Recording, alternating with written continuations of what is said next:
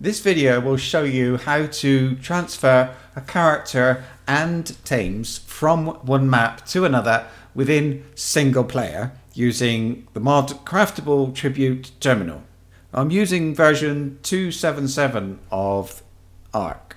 Before you do anything else, you're going to need to back up your saved folder. I'll put the path to this in the description down below, but it is basically probably the C drive for you, and then program files x86, Steam, Steam Apps Common, Ark, and then you go to ShooterGame and it's there, saved. As I say, look below, you'll see a path to it in the description.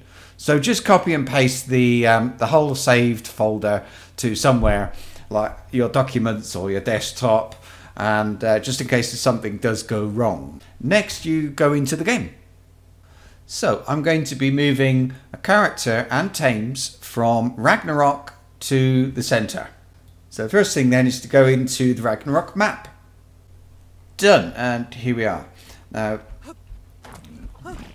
the the mod you can craft the uh, the thing, the tribute thing to, that you want to use, or you can spawn it in. If you want to craft it, fine, but some of the materials are pretty hard to get early in the game, so um, I'm spawning mine in.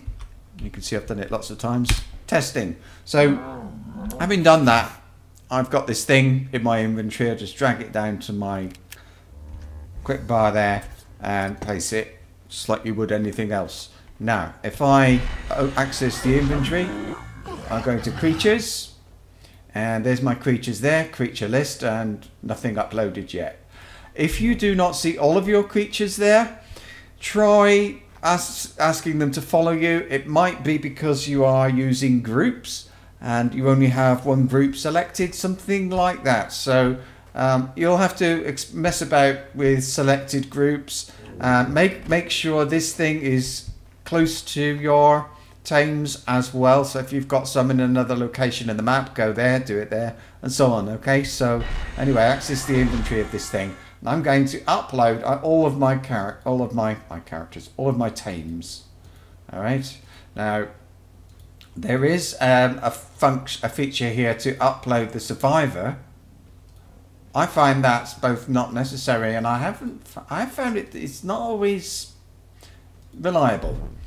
But that's me. If you want to do that, you could try it. You can. So I'm having a look around. All my tames have gone. Do the same. And now to uh, move the character. Just before I do, I'm going to exit to the main menu. Now I'm going to move this one to the island. And you can see I've already got a save game on the island. So I'm going to delete that save game. So it's completely empty. Now I'm going to quit the game and show you the next bit. So back to the saved folder and if I want to move to the island I'm going to you just go to saved arks local. It's the original map so it's just in there. If I want to go to the center it's in there. If I want to go to Ragnarok it's there. So back to saved arks local because I'm going to move to the island. Now despite the fact that I have deleted the save game from within the game you notice there are still these files here and I need to remove those as well. Just manually delete them. Like that. There you go. So nothing in the folder for the saved game of the island. I'm going to go to the Ragnarok folder I'm going to select three files. One is ragnarok.ark local player.ark profile second and the other one uh, a number for the ark tribe. So back to saved and saved ark local I'm just going to paste that in Good. Now to go back to the game and into the island. Well, here we are. So if I go into now and I'm going to start what looks like to be a new game on the island and just play single player. Here you can see I've actually been asked to respawn, not to first create a new survivor. So I'm just going to select that one, doesn't matter where you, where you go, but and uh, respawn. So here we are. I now have my my character. Just look at her. She's level. There we are, level 15. Now I'm going to spawn in that item again. I'll put something in the description telling you exactly what you have to type in there for for that thing. And um, Now I've got that thing in my, well, it's actually down here. It's gone to number seven. It seems to, to save that for some reason. So like that, I'll just go over here, access the inventory, and I'll download all of these. Yeah, they'll do poop as they arrive. I don't know why. I've had them laying eggs as well. If they sometimes sometimes these things all appear and they're all kind of standing on top of each other. So it can be a good idea if you sort of um, spawn one, if spawn one, move it, spawn one, move it, and do it like that. Because once you've you've sort of got them stuck, um, they're stuck forever. It seems to me they're kind of inside each other. So anyway, that's that has moved my character and the tames across from within to official maps. So back into Windows Explorer, I can now remove that file called ragnarok.ark. It just keeps it tidy. I don't think it makes any difference to what works and what doesn't. Procedurally generated arks are different. The files for those are kept in saved arks local, then PG arks, and you'll see a folder for each of your procedurally generated arks. You would need to go through the same processes you saw me do on Ragnarok just now, but then you need to go into whatever the folder is, select those three files, which should be those, and then you can just copy them and put them into wherever you want to go. So if I'm putting one into the center, I can just paste the files into here.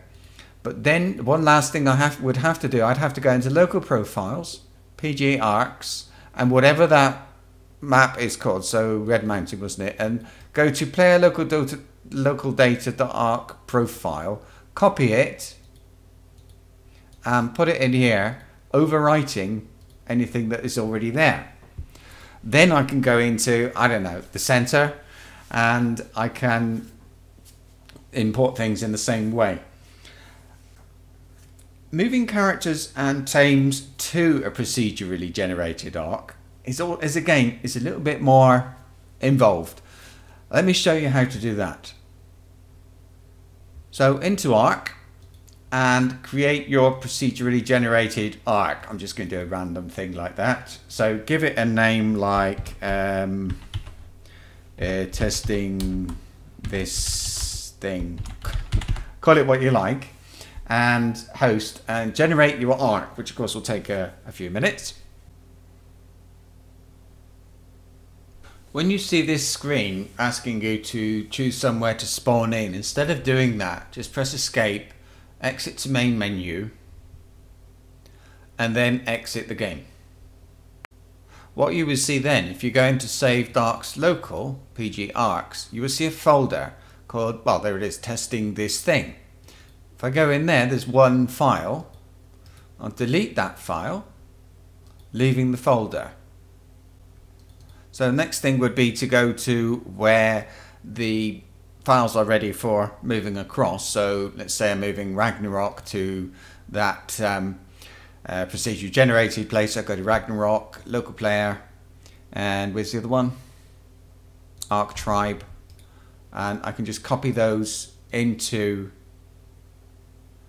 saved arks local, PG arks, testing this thing, paste.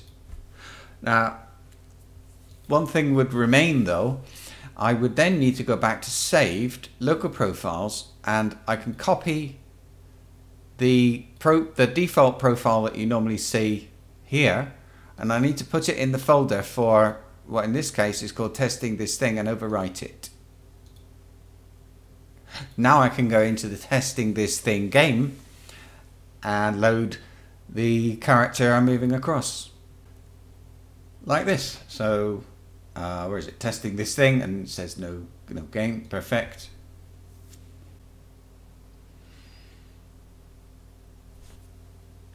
So I can now just choose my zone, whatever, respawn,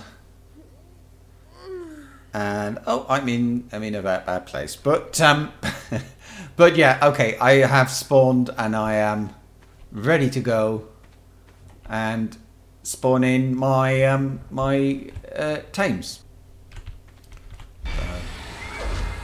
go like that. I'll do this very quickly. This is actually a different thing, but there you get the idea. So that's going to work like that. I hope that helps you to understand even just the principles of what it is you have to do, and that you're now able to move your own single player characters and tames between your own maps. Have fun!